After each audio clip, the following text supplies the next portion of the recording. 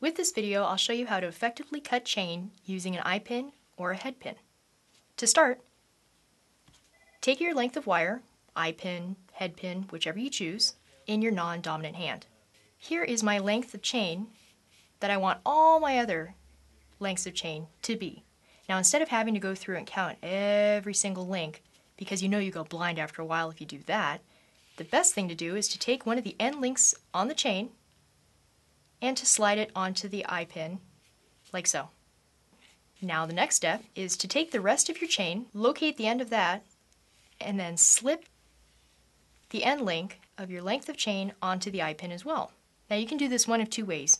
You can hold this on the ground and you can pull out your length of chain so that it lays nice and flat and straight, or you can hold it upright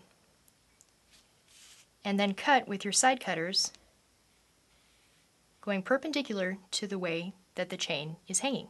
For video purposes, I'm going to do this with the chain laying down like so. Now, could you cut your chain effectively with having these two links far apart like this? After a while, sure.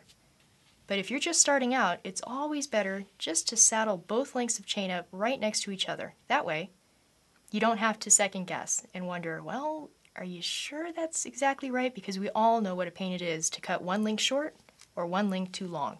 So when you're satisfied with where you know that your cut's going to be, take your side cutters and cut away. Now remember, always wear your safety glasses because little tiny links of broken chain will fly through the air if you're not pointing your side cutters down. Notice that I'm holding the flat part of my side cutters up towards me and not the indented side. If I hold my pliers down like this, any cut links should fall right onto my work surface like so. So this is how you effectively cut chain. So now when you look at your end result, you have two lengths of chain that are equal number of links, and you won't ever run into that problem of coming up short again when it comes to cutting chain.